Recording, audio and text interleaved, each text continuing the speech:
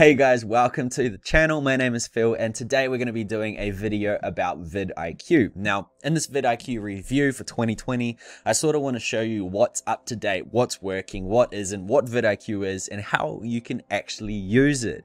It's actually quite a powerful tool. A lot of people don't realize the full potential of it. They just see, uh, for example, the plugin and they think that's it. So I want to sort of uh, go a little bit more in depth of how I use it day to day um, some things that you can find out about it, and a few little secret tricks that will actually help you get your videos more views and get ranked. Now, just before I get started, I am a partner for vidIQ. If you decide to get started with vidIQ Pro, I've left a link in the description. If you use that, I'll give you a free video ranking book as well that I've actually personally created. Uh, it's not for sale just yet or it's not on the market just yet, but you'll be one of the first people to get it. So make sure you use that link in the description. So first of all, what is vidIQ? Now, vidIQ is essentially a SEO tool for YouTube, and that means search engine optimization, right? So what it essentially does is you get your membership. There's a pro version, there's a paid, and there's I think a couple of different levels of paid. I'll go through those in a bit. Um, but what it does is it gives you recommendations based on what your video is about to what you can actually do to make it rank better, right? We're talking things like thumbnails, hash, oh, sorry, not hashtags, tags, uh, descriptions. We've also got things like end cards, thumbnails, um, sharing, all these types of things. They will all go into play to um, help your video rank further. But one of the most important things about it is not necessarily the plugin, it's more so the search engine because a lot of people know that there is the keyword planner for Google. There's also things like Ahrefs for SEO for um, websites and that sort of thing. But there isn't actually many search engines dedicated to YouTube. And what's actually happened is VidIQ, VidIQ has created that and they've created this database of pretty much winning keywords. So what I'm going to do is I'm going to show you what I mean in a second. It's probably a little bit confusing, um, but what you can do is find low competition keywords that have, have high search volume. And if you create videos on those exact topics, what you're going to do is have a much better chance of ranking, which I've personally seen because I follow this method uh, every time I shoot a video. And it's just going to help your channel grow so much better. So what I'm going to do right now, I'm not going to try to rant on too much longer. I'm going to go behind the screen in just a second and I'm going to show you exactly what vidIQ does. So I'm going to jump behind there now and I'll see you there. Okay guys, here we are behind the screen. Now I'm just going to start off with the pricing page of vidIQ because I just want to, you know, get this out the air. I'm going to refer to it a lot um, because you get so much value for what you pay. So there's four different plans you can choose. The free one is very limited. You can get the Chrome plugin and you can do bits and pieces, but um, it's really just if you're like dipping your feet in a little bit. I probably I, I did start off on this for a few years before I took um, YouTube seriously, but as soon as I did, I went to Pro and I was extremely surprised the value you get for seven bucks fifty. Um, keep in mind the the key point of all of this is it's seven dollars fifty, two coffees, and you could have thirty days worth of information. Right, so just keep that in mind. So first of all, I'm going to start here on the vidIQ dashboard. This is the pro dashboard, by the way. Um, you don't get a dashboard, I believe, in the free plan, but this is the pro dashboard. So this is what you can expect. Um, inside here, we'll have things like all the channels analytics, and you can change the custom date. I believe I started this channel, um, I think I did my first video in like Jan. So you can see the progression of my um, of my channel. As you can see, all these blue spikes is where I was where I've posted and I've been sharing it all over the place. Um, so it's it was dead because I did nothing for so long. Learned about vidIQ and started sharing things more, and it's just starting to grow now, which is really nice. Um, no doubt when you watch this in the future, it's going to be a lot higher. Uh, if we come down, we've also got an overview. I like to see this because it's, you know, I'm trying to get my channel eventually monetized. Um, so once I get to, you know, a thousand subscribers and more um, hours watched, then I can get it. Down here, we've got some basic demographics, what your top trending video is, what the top searches are, um, what your demographics are, males to females. Females are falling behind. Come on, pick it up pick it up, ladies. Also, the places that's been embedded, top playlists, best time to post, overview, and trends. So it's all good information there, guys. Not going to touch on too much about it, to be honest. I don't really look at any of this stuff specifically. I do, however, look at the last seven days when I log in. It's always nice to see. Uh, what else have we got in here? Inside here, we've got videos. It's got a list of all your videos, your descriptions, all your subscribers, which is really nice if you wanted to do something with that uh, SEO, which is my favorite part, which I'm going to talk about in a bit, the one that actually helped me grow my channel. Um, so I'll talk about that in a sec. We've also got something, some stuff about your competitors, um, and there's an opportunity to upgrade there. But something I didn't realize you get with the pro membership is actually vidIQ Academy, right? So I've already logged into that and you can see what it is here.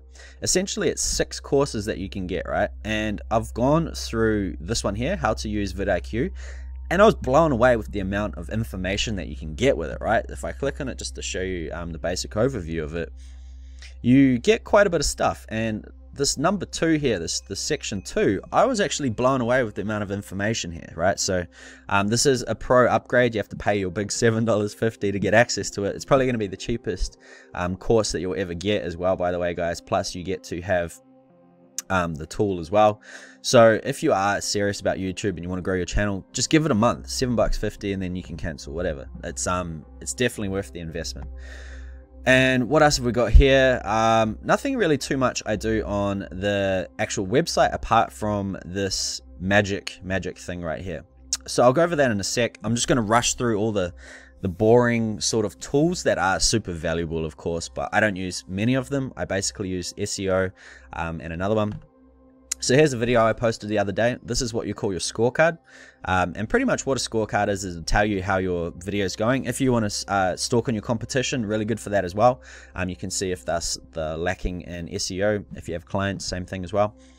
Basically, I don't look at this top stuff, right? You can if you want, um, but a good thing to look if you're looking at competitors is how many views per hour they get for that specific video. As you can see, I'm only getting less than a view an hour, but that's because this company is just just launched, so um, they they aren't known by anyone. And if I scroll down, this is where the magic really happens. Um, and it's your rank tracker, right? You can see what keywords you're actually ranking for. So as you can see, I'm number one for um, the basic uh, keyword grow me organic as well as review. Um, number two for all put together. And inside here. So this is all really good stuff. Um, it's always good. I always check on my videos to see how they're going so that's good. And the other part i do is when i publish my videos i always look at this video optimization checklist. It's going to tell me my title tags description cards all of this good stuff. So as i can see from here um, i need to share it on facebook which is really good.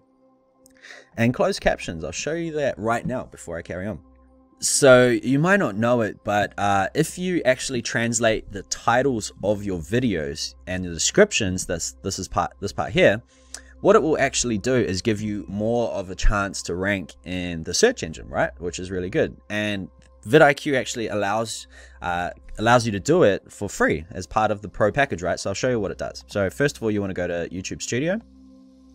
It's a little bit of a hack. No one really knows about this just yet. So um, uh, I, only, I only personally just found out the other day. So if you go to YouTube Studio on the left here, you got subtitles. Um, I know one of these. This one here doesn't have any subtitles. When you click on here, right, um, it'll bring you to this page. Now, I don't personally have the entire subtitles. That's quite a big job. But what you can do is you can uh, translate the titles and descriptions using vidIQ. So all you do is press add language. Um, if you go into your analytics as well, it'll tell you what your um, top countries are. So that just to let you know. But if you come down here, um, I know that majority of the people on the internet are from India. So let's just say I want to put one in India. Um, add that here, Hindi, and I press add on this section here. Now, as you see, there's a little translate button. It's just appeared. Click that. And what do you know? It's been translated. So I'll just go ahead and press publish and that's been added. So what you generally do is you would choose your top countries that you're getting most of your views from, right? Um, obviously English is going to be done if your first language is English, but you can just come through and all the other ones are just going to help. So let's just say if it was Arabic, Arabic, or however you say it, mine's a bit blank at the moment. Um, just press it there and do the same thing. Now, they are pretty much all there, all the languages. There's just a few that are missing, but I generally do about six for each video. And then once they're done, they're done. So it's a, a little bit of a ranking sort of um, trick that not many people know about. So I just thought I'd show you that. So what else is there? Um, I'll quickly go into a search just so I can show you a few more things before I get into my favorite part of the entire um, the entire vidIQ product. So let's just say I was searching for vidIQ review as I'm doing a vidIQ review right now. You'll see this little panel on the right here. And what this is going to show you is just a brief overview of the search term you're going for. So it'll give you the average numbers majority of the like the top videos have. So averaged out all put together and then divided, it's about 50,000. Um, but don't let that put you off. It's just showing you the sort of best search terms. The highest views for the search term is 570,000, so it's got a lot of beef. Um, average subscribers is 270k or 63 if you want to get um, close, but it just gives you a bit of an overview. Now, I don't personally use this pane too much because the next thing I'm going to show you is the best way to do it. Um, but if you go down, it'll give you a brief overview of what the volume's like and how much competition there is. So 77 out of 100, pretty good. It's also got some uh, the top channels for the search term, so that's why um, the top one was so high. It's because it's vidIQ. And then it's got some related search terms. So this is actually a really good thing. Um, top related search terms. You can click on it and see all of them if you wish. Um, but this particular search term here, I'm actually going to do a video on because it's so lucrative. Um, so you'll probably see that in the in the near future. And then it's also got this thing here, trending videos. A good part about this is if you're creating these channels that you want to like sort of latch on trending topics. It's a it's a good way to get fast amount of views. The video is not going to last forever, but it's a good way if you're into those sort of things, trying to get the biggest channel you can, um, trying to follow niches. This is a good place to um, have a look what sort of videos are doing really well. As you can see, um, there's potential to get 107 views per hour, um, which is not too bad for this particular topic. It's not the most niche one but these are here as well. Okay, so let's get into the nuts and bolts. I've been talking on enough about uh, the features and things. So I'm going to come here to vidIQ and come to this SEO tab, right? Now, when you first log in here, you'll see these two things pop up, and that's if you have the Boost membership, but don't worry, you don't have to do anything. Just come straight on the right to keyword research. And this is the magical feature. This is the one that's going to help you um, get your videos on the top of uh, YouTube search engine, right? So if I typed in here vidIQ, right, this is going to give me some potential keywords that I could go for. Now, as you can see, we've got related keywords, related score, um, search volume, search score, competition score, overall score, and number of words.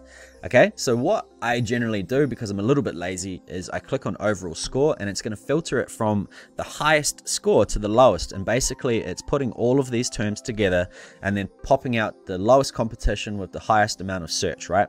So as you can see, this one's only got a search score of nine, um, which means that oh sorry competition score of 9 which means that you know not many people are going for it it's uh, out of 100 I'd imagine. Um, so 9's really good and it's got a lot of search volume. But obviously this one's in Russian so I can't go for that. But if I come down um, you would have heard me mention earlier I was going to go for this particular keyword and that's because the search score is 83 so my rule of thumb is I will do a video on anything above 70 so if I come down, I've got loads of ideas, right? Loads of ideas that I could use to make videos about. And the good thing about this as well is what I would generally do is copy all of these. You can just highlight the entire thing, put it into a spreadsheet, um, and then you can paste it there. And what I do is I will filter out the ones that are relative to the topic. So I'm not going to put this one in here because it is a um, TubeBuddy versus vidIQ. I'm not talking about TubeBuddy, so I wouldn't use it. But all the ones that are relative, um, I would actually use as tags, right? That's a ninja, ninja, ninja trick that no one knows about really um, and it's going to help you rank. So I would do vidIQ Pro, I would do uh, vidIQ Boost, I would do how to use vidIQ, how to install vidIQ, um, vidIQ tutorial, for vidIQ Chrome extension, all of these types of things, right? And um, and then if you talk about them in your video like I am, there's a really good potential you're going to actually rank for those tags as well. So it's pretty amazing. Um, if you can't find the keyword you're trying to rank for, I would then type it again and it's going to be the one that's in yellow. As you can see, it's got a score of 77, so still really high, um, but you can sort of use all the tags as well, anything above. And it's a good idea for finding a good keyword, right? If you were trying to um, go for a specific term, but it was extremely competitive, you just niche down into one particular term and it's going to make all the difference, right? So that's pretty much vidIQ. In my opinion, it's the best plugin you can get for value um, if you are trying to get uh, ranked on YouTube for the price as well, man. $7.50. It's a no-brainer, absolute no-brainer. So what I'm going to do quickly, I'm going to jump behind the camera. Um, I just want to say a few extra things. okay, guys, so that was vidIQ. And my personal vidIQ review of all of it is it is worth it. It is absolutely worth it. It is so cheap for the amount of power you get. Just to let you know, I've paid like I think $60 per month for other tools that do pretty much the same as what vidIQ does, but I believe the vidIQ search engine's even better. So um, that's my verdict, guys. I will be doing a uh, another sort of series around this later on, so make sure you're subscribed to the channel. There's going to be some really good stuff. And if you are going to use vidIQ Pro and you want to get my free ranking guide, there is um, a lot of vidIQ in that ranking guide, but there's also some extra little tricks that not many people know that I'm happy to share with you if you decide to use my link for vidIQ. So that's pretty much it, guys. I hope you've learned something. vidIQ can definitely help your YouTube channel grow as well as your videos get more views. Make sure you check it out. And apart from that, I hope you've enjoyed it. If you have, give it a thumbs up and make sure you subscribe for more videos. And I will see you on the next one.